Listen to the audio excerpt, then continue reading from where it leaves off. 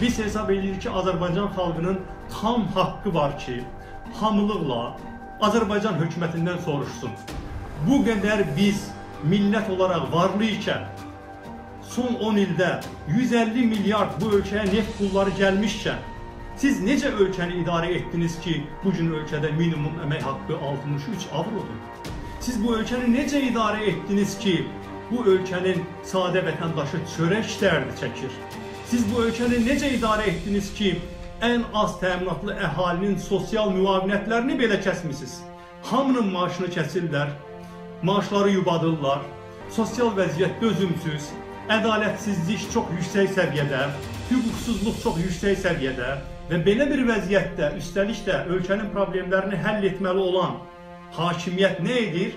Azərbaycan hakimiyyətinə əl qoyur. Dünyanın harasında dövlət başçısı öz həyat yoldaşını özünə birinci vitse-prezident təyin edir?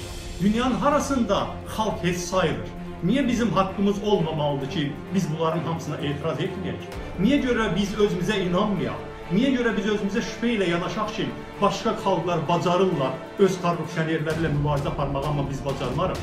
Niyə görə biz özümüzə inanmayaq ki, biz də ölkəmizə demokratik seçki gətirə bilərik? Azadlığı, ədaləti biz özümüz xalq olaraq bərqərar etməsək, kim bunu bizim əvəzimizə edəcək?